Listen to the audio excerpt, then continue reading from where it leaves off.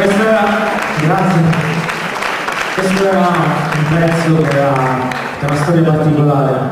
perché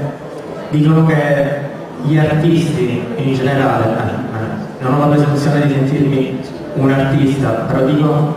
credo di aver preso dagli artisti forse quel lato, come dire, un po' malinconico che ci porta a scrivere le canzoni nei momenti un po' così un po' tristi. E un giorno abbastanza particolare della mia vita